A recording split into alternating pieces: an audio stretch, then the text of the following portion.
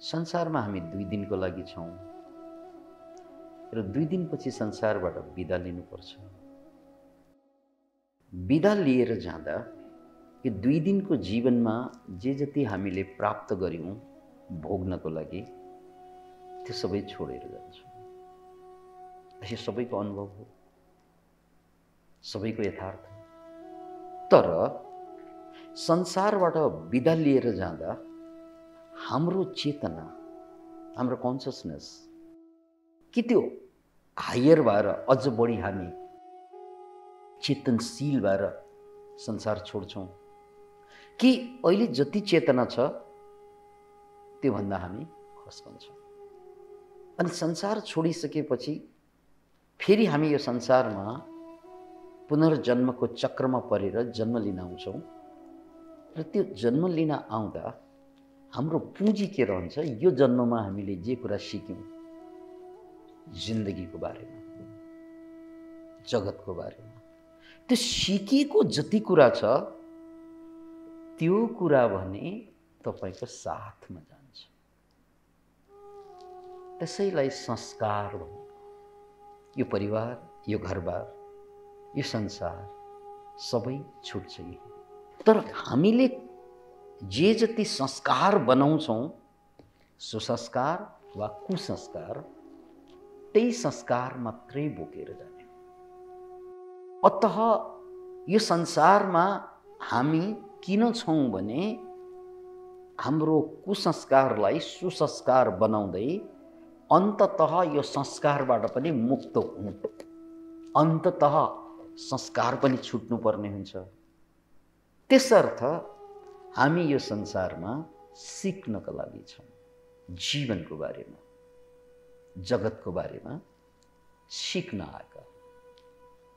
अब सिक्नुभन्दा बढी हामी कमाउनु जोड्नु बन्नु बनाउनुमा बनाउनुमा लाग्यौँ भने त्यो बनाइएका कुरा जति पनि छन् ती सबै कुराले हामीलाई सुख दिँदैन यो त थाहा नै भयो। त्यो हाम्रो भोगाइ पनि हो। तर यो बनाइएका कुरा हामीले लिएर जाँदैनौँ। यो पनि हामीलाई थाहा छ। तर थाहा नभएको कुरा के त भने त्यो बनाइएका कुरा जसरी हामीले बनाइरहेका छौँ जुन प्रविधिबाट जुन तरिकाबाट त्यो बनाउने तरिका जसलाई संस्कार भनिन्छ त्यो भने या त अपग्रेड हुन्छ मोबाइल जस्तै। हरेक वर्ष मोबाइल अपग्रेड हुँदै जान्छ। त्यस्तै हाम्रो चेतना पनि कि त अपग्रेड हुँदै जान्छ हर जन्ममा कि त खस्कँदै जान्छ हर जन्ममा। खस्कँदै गयो भने यो जन्ममा मान्छे अर्को जन्ममा फेरि पशु फेरि झारपात। यदि यो जन्ममा हामीले सिक्दै गयौँ सुसंस्कार बढाउँदै गयौँ भने अनि अर्को जन्ममा योभन्दा अझ राम्रो परिवारमा अझ राम्रो संस्कार लिएर जन्म लिन्छौँ। अध्यात्मको सामान्य कुरा हो। अनि सिकाइको सन्दर्भमा कुरा गर्दा तिन किसिमका चेतना हुन्छ मान्छेको अधम मध्यम र उत्तम। अधम पुरुषले बार बार गल्ती गर्छ यही जीवनमा तर सिक्दैन। गल्ती मात्रै गर्छ एउटा गल्ती गर्छ अनि फेरि अर्को गल्ती गर्छ फेरि गर्छ ऊ सुध्रिँदैन। त्यसलाई अधम पुरुष यानि अधम चेतना। मध्यम पुरुषको विशेषता के हुन्छ? उसले गल्ती नगरेसम्म सिक्दैन। एकचोटि गल्ती भएपछि ओहो यो त बाटो होइन। मैले बाटो बिराएँ भनेर सिकिहाल्छ यो मध्यम पुरुष। अनि योभन्दा मास्लो चेतना पनि हुन्छ जसलाई उत्तम पुरुष भनिन्छ त्यो उत्तम पुरुषले भने अरूले गरेको गल्तीबाट सिकिहाल्छ। उसले आफैले गल्ती नै गर्नु पर्दैन। किनकि मेरो चारैतिर मेरो दाइले भाइले आमाले बाउले मेरो इतिहासले गल्ती गरिरहेका हुन्छन् र त्यो गल्तीबाट सिक्ने ताकत उत्तम पुरुषमा हुन्छ। अब हामी कुन पुरुष जति गरे पनि नसिक्ने पुरुष हो कि? अथवा गल्ती गरेपछि सम्हालिने पुरुष हो कि? या गल्ती मैले गर्नु पर्दैन अरूले गल्ती गर्दा पनि म सम्हालिन्छु भने म उत्तम पुरुष। जीवनको उद्देश्य सिक्नु। अब सिक्ने मोडालिटीमा तपाईँको उत्तम पुरुषको आफ्नै हुन्छ मध्यम पुरुषको आफ्नै हुन्छ र अधम पुरुषले सिक्दैन यो जन्ममा। भन्ने यस शास्त्रीय भनाइ मैले अगाडि राखेँ। अब एक दुईवटा जोक सुनाउँछु। कति सिक्नुहुन्छ? किनकि यो जोकमा गल्ती त अरूले गर्छन्। तपाईँले गर्ने होइन जोकमा? तर तपाईँ उत्तम पुरुष हो भने अरूले गरेको गल्तीबाट सिक्नुहुन्छ फेरि। सिक्नको लागि जिन्दगीले धोका पाउनु पर्दैन यदि उत्तम पुरुष हो भने। जोकले पनि सिकाइदिन्छ। दुईजना मान्छे जङ्गल गइरहेका थिए। घुम्दै दुईजना मान्छे गफ गर्दै जङ्गल गइरहेका थिए। बहुत जिगरी दोस्त उनीहरू। लङ्गौटिया यार। है? सानै उमेरदेखिका साथीहरू। बहुत मिल्ने साथीहरू। जङ्गल छिरे जङ्गलको बिचमा बाघ प्रकट भएछन् त्यसपछि दुवैको सातो भयो। त्यत्तिकैमा एउटाले चाहिँ आफ्नो जुत्ताको टुना कसिहाले भाग्नु पऱ्यो भने अनि अर्को साथी डर त दुवैलाई लागेको छ। अर्को साथी मुसुक्क हाँस कस्तो मूर्ख होला। तिमी के बाघभन्दा छिटो कुद्न सक्छौ? टुना कसेर। टुना कसेर जुत्ता टाइट गरेर के तिमी बाघभन्दा छिटो कुद्न सक्छौ? अनि त्यो टुना कस्ने साथी भाग्दै के भन्छन् भन्नाले सक्दैन। बाघभन्दा त छिटो भाग्न सक्दैन। अनि बाघभन्दा छिटो भाग्नु पनि पर्दैन। म तिमीभन्दा छिटो भाग्नुपर्छ त्यति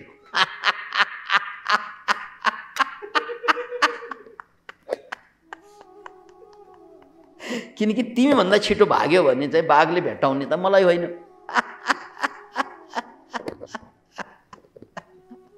अब यो सानो जोकभित्र के सिक्नुभयो?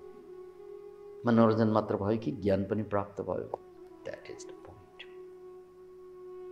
पहिलो कुरा दुनियाँमा कोही पनि जिग्री दोष हुँदैन।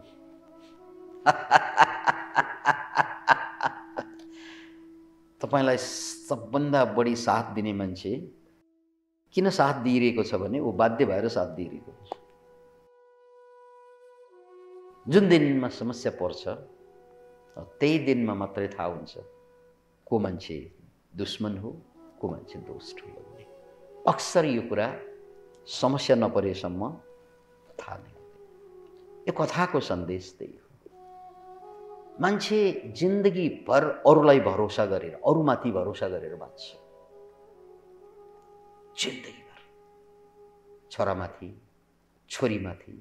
अनि उनलाई सबभन्दा बढी दुःख दिने प्राणी को हुन्छ? त्यही छोराछोरी हुन्छ जसमाथि उसले भरोसा गरेको हुन्छ। भरोसा नगरेको मान्छेबाट उनले त्यस्तो धोका पाउँदैन। किनकि धोकै पाइहाले पनि मान्छे उस्तै हो भनेर छोडिदिन्छ।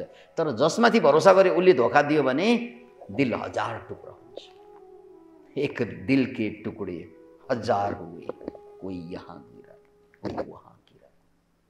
बहते हुए आंसू रुक न सके कोही यहाँ गिरा कोही वहाँ गिरा। अनि हालत त्यही हुन्छ मान्छे रुँदै बाँच्नुपर्ने तपाईँले जसलाई सबभन्दा बढी भरोसा गर्नुहुन्छ चाहे त्यो गर्लफ्रेन्ड होस् बोयफ्रेन्ड होस् लोग्ने होस् स्वास्नी होस् छोरा होस् छोरी होस् यो संसारको जति पनि मान्छे छन् नि हामी अरूमाथि खुब भरोसा गर्छौँ। अनि तपाईँको दुःख र दर्दको सबभन्दा ठुलो कारण बन्छ तपाईँको भरोसा। के यसको मतलब भरोसा गर्नु गलत हो? भरोसा गर्नु गलत त होइन। तर यो तपाईँको भरोसाले तपाईँलाई पङ्गु बनाउनु गलत। कुरा त जोक हो यहाँ। तर सिक्ने मान्छेले सिकिसकेको हुन्छ। किनकि तपाईँलाई यो धरतीमा कहिल्यै नछोड्ने एउटै साथी मात्रै छ। त्यो भनेको तपाईँ आफै जसले तपाईँलाई धोका कहिल्यै नदिन सक्छ। यदि तपाईँले त्यसलाई बुझ्यो भने आफूलाई बुझ्यो त्यसकारण तपाईँलाई धोका अरूले दिएर फरक पर्दैन। किनकि अरूले दिएको धोकाबाट तपाईँ जोगिन सक्नुहुन्छ। एउटा साथीले धोका दियो भने अर्को साथी एउटा बोयफ्रेन्डले धोका दियो भने अर्को। तपाईँलाई बाहिरबाट धोका दिनेलाई तपाईँले फेर्न सक्नुहुन्छ। तर जुन कुरा तपाईँले आफैलाई धोका दिइरहनु भएको हुन्छ नि? अनि चाहिँ सक्यो। दुनियाँले धोका दिएर खासै केही लछार पाटो लाउँदैन भन्छ तर जब मैले मलाई धोका दिन्छु त्यो बेला मलाई बचाउने कोही पनि के हो नि त मैले मलाई धोका दिएँ यो शरीर मेरै त पार्ट हो। तर मैले यसलाई चाहिँ आठ बजे उठाउने नौ बजे उठाउने बिहान नउठाउने व्यायाम नगराउने हो भने यो पहिलो धोका हुन्छ। यदि मैले मलाई समय दिन सकेन भने सबभन्दा बढी दुःखी हुने त मेरो शरीर हुन्छ नि। त्यस कारण आफैले आफूलाई धोका दिनु भनेको यो शरीरलाई समय दिन नसक्नु आफैले आफैलाई धोका दिनु भनेको यो मनलाई समय दिन नसक्नु अर्थात् चिन्तनको लागि अध्ययनको लागि अनुसन्धानको लागि ध्यान योग साधनाको लागि मैले समय छुट्याउन सकेन भने योभन्दा ठुलो धोका के हुन्छ किनकि यसपछि म यो शारीरिक रूपमा कमजोर बन्छु र मानसिक रूपमा कमजोर होइन कन्फ्युज बन्छु। त्यसकारण दुनियाँको सबभन्दा ठुलो धोका भनेको आफैले आफैलाई दिने धोका हुन जान्छ। अचेल मोबाइलको ट्रेन्ड छ। सबैको हातमा मोबाइल छ। सोसियल मिडियाको ट्रेन्ड छ। अनि त्यो सोसियल मिडियामा मात्रै समय व्यतीत गर्दा मोबाइलमा मात्रै समय व्यतीत गर्दा तपाईँले चिन्तन गर्ने मनन गर्ने आफूलाई चिन्ने समय पाउनु।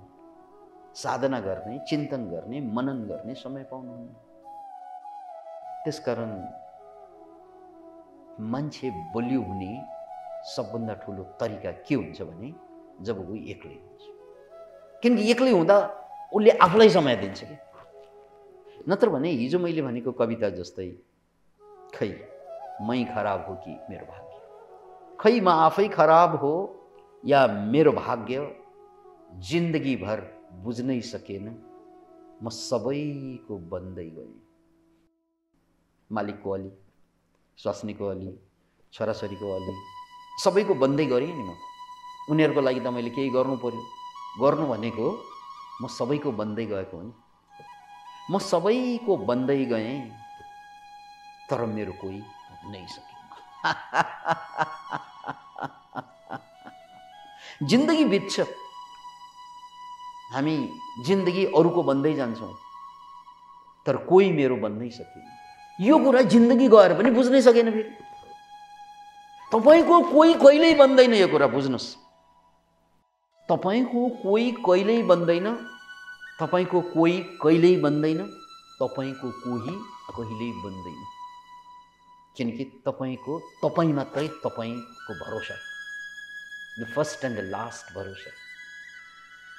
अनि जब म मेरो भन्छु नि अरू मान्छे मेरो जिन्दगीमा जोडिए कि छोडिए कि जोडिए खुसी छु छोडिए पनि खुसी छु बनारसको संस्कृत युनिभर्सिटीमा पढिरहँदा कविता फुरे थियो त्यो बेला त्यसको एउटा पङ्क्ति याद छ जिन्दगी सब अँधेरा है जब हम सफर ही लुटेर हम सफर भनेको सँगसँगै हिँड्नेहरू जिन्दगी सब अँधेरा है जब हम सफ़र ही लुटेरा जिसे कहा मैंने, मेरा बसेरा है। बसेरा बने को मेरो घर, मेरा डेरा। जिसे कहा मैंने, मेरा बसेरा है, पता चला, वह तो सांपों का ही डेरा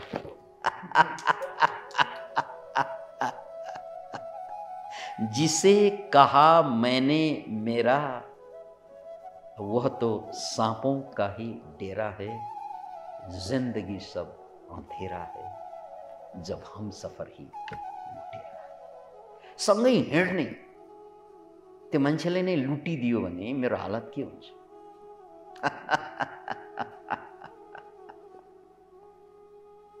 जिस जिसे मैंने पुकारा जिस जिसे मैंने पुकारा पुकारा भनेको बोलाउँछु नि मैले। ए साथी आइज न ए दाई ए भाइ बाबा ए आमा ए यो ए फलानु ए धिकानु भनेर मैले बोलाइरहेको हुन्छु। जिस जिसे मैंने पुकारा वह तो निकला बहरा।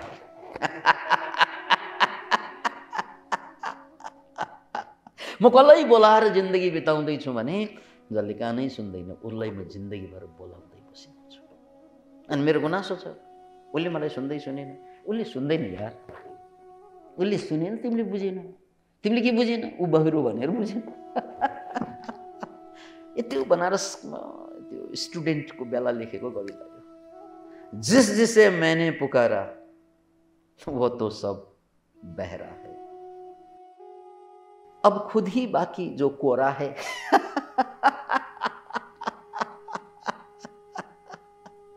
अब खुद ही बाकी अब सबैलाई मैले ट्राई मारिसकेँ अब खुद ही बाकी जो कोरा है सच में यही एक हमदर्द मेरा है। मलाई बुझ्ने कोही छ भने त्यो मै मात्र हुनुपर्छ अरू कसैले मलाई बुझ्दैन। किनकि सबै मान्छे आफूलाई नै बुझ्न व्यस्त छ भने मलाई कसले बुझ्छ भन्नुहोस् त? सबै मान्छे आफैलाई बुझ्नमा व्यस्त छ आफ्नै संसारमा मस्त छ भने मलाई कसले बुझ्छ? कसैले पनि बुझ्दैन त्यसकारण जिंदगी सब अंधेरा।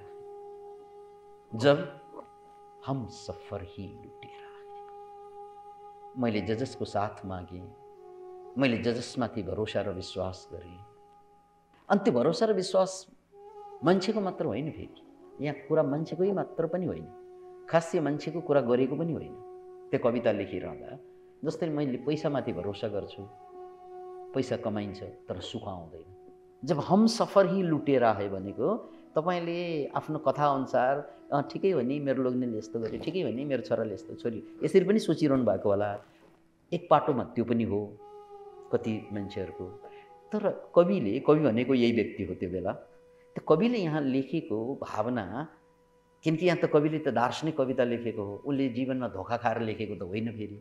अब गर्लफ्रेन्डले छोडेर बहुत पीडित भएर लेखेको कविता त होइन। यो त जीवनलाई बुझेर जानेर लेखेको कविले।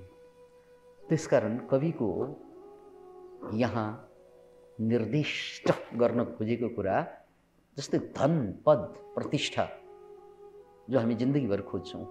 धन पद प्रतिष्ठा। यिनीहरू पनि लुटेर नै हुन्छ किनकि धन नभएसम्म म जिन्दगी लगाएर मेरो जवानीको लिलामी गरेर मेरो स्वास्थ्यको बर्बादी गरेर म पैसा ल्याउँछु। अनि के गर्न ल्याउँछ? त्यो पैसा आएपछि म खुसी हुन्छु भन्ने मेरो बुझाइ हुन्छ। पैसा आउँछ तर खुसी हुँदैन। जिन्दगी सब अँधेरा। अनि पछि थाहा हुन्छ स्वास्थ्य गइसकेको छ उमेर गइसकेको छ तर शान्ति मनमा अझै आएको छैन। आखिर खोजेको त मैले शान्तिको लागि हो नि मनको। तर त्यो आज पनि आएन पैसा आइदियो। म चारैतिर पैसाको माझमा छु। मैले खोजेको आयो तर मनमा शान्ति आएन। जिन्दगी सब अँधेरा जब हम सफर ही लुटेर किनकि मेरो लागि पैसा हम सफर थियो नि। त्यस्तै कसैले पदको लागि मरिमेट्छ मन्त्री हुन्छ प्रधानमन्त्री हुन्छ राष्ट्रपति हुन्छ। त्यो शिखरमा पुगेर पनि उसको दुःख उसको मनको शान्ति बन्दैन भने उसको हमसफर त्यहाँ पुगेपछि मेरो जिन्दगी धन्य। एकपल्ट राष्ट्रपति हुनु पाए एकपल्ट प्रधानमन्त्री हुनु पाए हाकिम हुनु पाए चेयरम्यान हुनु पाए भन्ने हुन्छ नि। त्यो हुन्छ पनि तर त्यो भइसकेपछि पनि मनको त शान्ति हुँदैन। जिन्दगी सब अँधेरा है जब हम सफर ही लुटेरा जिसको कहा मैंने मेरा बसेरा है वह तो साँपों का ही डेरा जसले पाइसकेपछि पनि मलाई ठुङ्छ त्यस्तै सम्मान इज्जत प्रेम प्यार माया खोज्छौँ नि हामीहरू। नपाउँदासम्म बहुत ठुलो लाग्छ। र पाइसकेपछि त्यसैले ठुङ्गिरहन्छ मलाई। त्यसकारण यहाँ कविले त्यो मान्छेको कुरा मात्र गरेको होइन। सबै कुरा मान्छेले खोजेका कुरा पाउँदै जान्छन् तर उसले खोजेको मुख्य कुरा उसको खुसी उसको शान्ति त्यो सबै कुरा पाउनुको बावजुद पनि गुमाउँछ। त्यो इलन मस्कदेखि लिएर नेपालका विनोद चौधरी या भारतका मुकेश अम्बानी या अमिताभ बच्चनको परिवार त्यो सबैलाई अध्ययन गर्नुहोस् त। उनीहरूले नपाउनु केही पनि छैन। तर अझै उनीहरूको मनमा शान्ति भएको देखिँदैन। बेला बेला ईर्ष्या गर्ने जलन गर्ने एकले अर्कोलाई ठुङ्ने यो कुरा भइ नै रहन्छ। अनि त्यही बनारसमा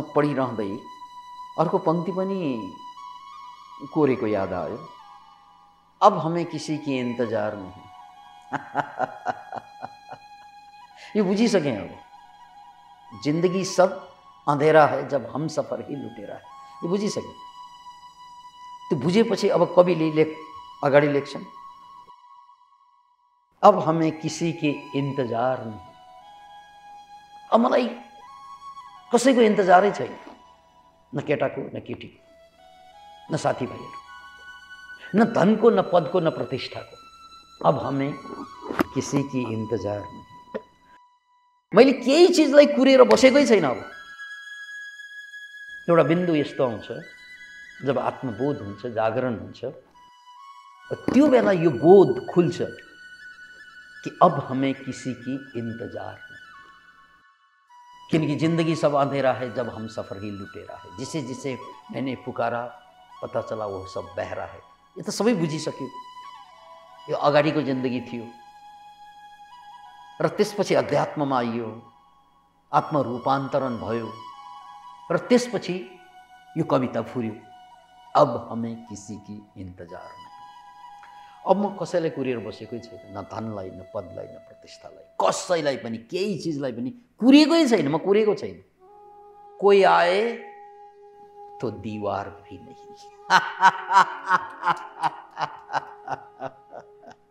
अब हमें किसी की इंतजार नहीं अगर कोई आए तो दीवार भी द ब्युटिफुल लाइफ जहाँ तपाईँले कसैलाई कुरिएको छैन। कोही आउला केही पाउला। कोही आउला इन्तजार छैन केही पाउला आश पनि छैन। तर कोही आइ पनि त दिन्छ।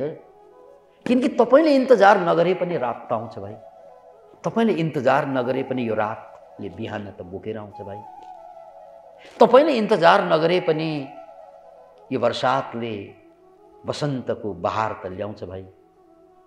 तपाईँले इन्तजार नगरे पनि यो मनमा उमङ्गका गुलाबहरू फुल्छन् भाइ। इन्तजार गरे पनि फुल्छन् नगरे पनि फुल्छन्। त्यसकारण सम्पूर्ण सृष्टि परिवर्तनशील भएकोले सुख मैले नखोज्दा पनि आउँछ सुख मैले खोज्दा पनि नआउन सक्छ।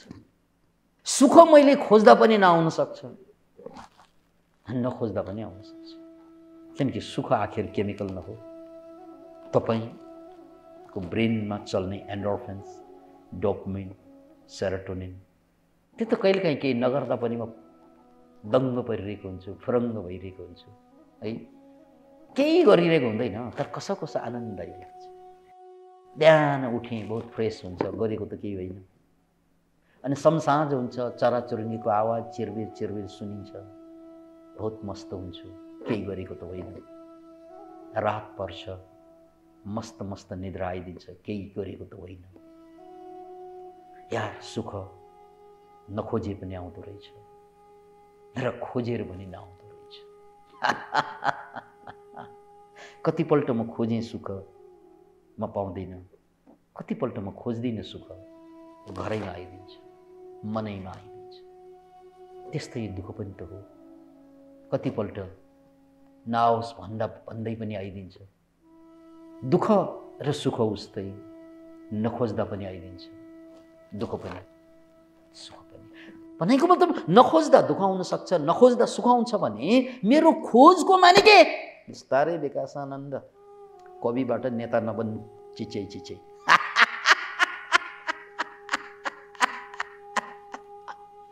यदि नखोजिकन नै आउँछ भने खोज्नुको अर्थ के भैया? दुःख पनि, सुख पनि। किनकि त्यो केमिकल हो। नखोज्दा पनि दुःख आउँछ। नखोज्दा पनि सुख आउँछ। त्यसकारण अब हमें किसी की इंतज़ार नहीं। कोई आए तो दीवार यानी कोही आयो भने स्वागत छ। तर म खोज्दिनँ अब। यसको माइने के? किनकि यहाँ कवि दार्शनिक भएर लेखेका छन्।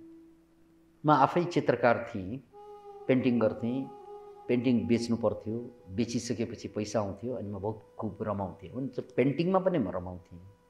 अब बेच्दा पैसा आउँदा पनि रमाउँथेँ। त्योभन्दा बेसी त्यो पैसा उडाउँदा रमाउँथेँ। त्यहाँ प्रोसेस छ। पेन्टिङ गरेर रमाउने अनि बेचेर रमाउने अनि त्यो पैसा उडाएर रमाउने। एउटा कालखण्ड त्यो थियो। तर जब मेरो जीवन रूपान्तरित भयो ट्रान्सफर्म भयो। त्यसपछि मैले पेन्टिङ गर्न छोडेँ। किनकि अब पेन्टिङ गरेर रमाउनु परेन। मैले पेन्टिङ बेच्नु परेन। र बेचेको पैसाले त्यो पैसा खर्च गरेर उडाएर आनन्द लिनु परेन। यो सबै प्रोसेस समाप्त भयो। अब हमें किसी के इंतजार नहीं। कोई आए तो दीवार नहीं। किनकि त्यहाँ पेन्टिङ छोडियो। पैसा आएन तर दुःख पनि आएन। त्यो पीडा पनि आएन दर्द पनि आएन। हाँ केही समय म पेन्टिङ केको लागि गर्थेँ त भन्नाले केवल मेरो निड्सलाई मिट गर्नलाई। त्यो भनेको घाँस बाँस कपास तिन चिजको लागि त पेन्टिङ गर्थेँ अझै पनि। तर त्यो दिनरात घोटिएर नाम कमाउँछु पैसा कमाउँछु भन्ने उद्देश्यले गर्न छोडेँ। केही समयसम्म। अब बनारस आइसकेपछि त्यो पनि गरिनँ। म मागेर खान तयार भएँ किनकि म बौद्ध भिक्षुक भइसकेँ। त्यस कारण मलाई मागेर खानुमा समस्या भएन किनकि यो माग्नु भनेको त्यो भिखमङ्गाले मागे जस्तो होइन। त्यो साधना गर्दा साधनालाई धक्का नआओस् किनकि यता उता पैसा खोज्दै गरेर साधना गरिरह्यो भने धक्का लाग्छ पैसा कमाउनुमा। त्यसकारण निडलाई चाहिँ मागेरै पुरा हुन्छ। निड घाँस बाँस कपास। अनि त्यसैको लागि माग्नु भनेको साधनाको लागि मात्रै हुन्थ्यो। अरू त समय साधना अध्ययन अनुसन्धानमा व्यतीत हुन्थ्यो। त्यसकारण त्यही बेला लेखेको यो पङ्क्ति हो अब हमें किसी के इन्तजार नै केही चिजले कुरिने न धनलाई न पदलाई न तरुणीलाई। कोही आए त दिवार नै आइ पो हाल्छ कि? ठिकै छ। किनकि अब मलाई आउनु र नआउस् नआउनुसँग मतलबै भएन। किनकि मैले बुझिसकेको थिएँ। कि सुख भनेको मेरो केमिकल हो। तिमी आएर मात्रै मेरो सुखको केमिकल चल्ने पनि होइन। तिमी गएर यो तिमीले लिएर जान सक्ने कुरा पनि होइन। त्यस कारण अब मलाई कसैको इन्तजार पनि छैन। आइ एम सेल्फ सफिसियन्ट जुन दिनमा मलाई बोध भयो नि म आफै पूर्ण छु। दुःखी बनाउने केमिकल मैसँग छ। सुखी बनाउने केमिकल मैसँग छ। साहसी बनाउने केमिकल मैसँग छ। कायर बनाउने केमिकल पनि मैसँग छ। तिमीहरू त बहाना हो। बाहिरको कन्डिसन सिचुएसन मान्छे त बहाना हो। मूल कुरा त मै अहिले वार जुन चलिरहेको छ हमास र इजरायलीको बिचमा एउटा मुसलमान अर्को ज्युज उनीहरू लड्नुको कारण यति मात्रै त छ कि एउटाले आफूलाई मुसलमान ठान्छ अर्कोले आफूलाई जुज ठान्छ। एउटाले आफूलाई प्यालेस्टिनी ठान्छ अर्कोले आफूलाई इजरायली ठान्छ। अनि यो ठान्नुको कारणले गर्दा यिनीहरूको बिचमा वार भएको होइन ठान्नुको कारणले गर्दा। म इजरायली होइन म मान्छे हुँ। म ज्युज होइन मान्छे हुँ। म मुसलमान होइन मान्छे हुँ भनेर निस्केको भए वार हुन्थ्यो। मान्छे हुन नसकेको कारणले युद्ध भएको होइन। अहिले दिनदिनै बच्चाहरू मारिँदैछ दुनियाँभरमा आन्दोलन भइरहेको छ। स्टप द वार भन्छ। त्यो स्टप द वार भनेर स्टप रोकिँदैन वार वारको मेन कारण हो यो कवितामा बुझेर। जिससे कहा, मैंने मेरा बसेरा है, पता चला वो तो साँपों का ही डेरा है। मेरो जात, मेरो देश, मेरो धर्म भनेर यिनीहरूले समाते नि आखिर त साँपको डेरा निस्क्यो युद्ध त्यस कारण जिन्दगी सब अँधेरा जब हम सफ़र मेरो धर्म मेरो हमसफर होइन मेरो देश मेरो हम सफ़र होइन मेरो जात मेरो हमसफर जसले मलाई कहिले पनि छोड्दैन जिन्दगी सब अँधेरा है सबैको जिन्दगी यस्तै छ जब हमसफर ही लुटिएर थ्याङ्क यू